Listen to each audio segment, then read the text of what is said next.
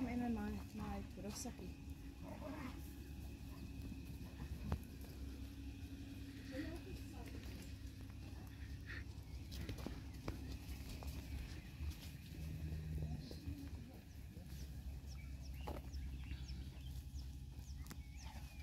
Um, how does it feel?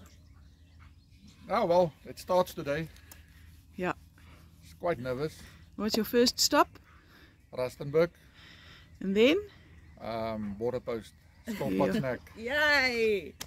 And what do you hope you're going to have for supper? Um, not sure yet. we'll have to see. We have to see We where we get. And we don't even know where we'll be.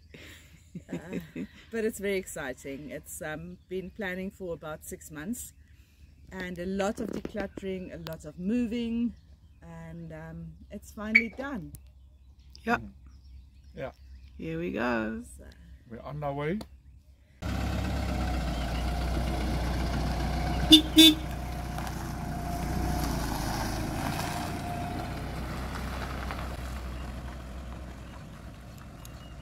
Beep, come.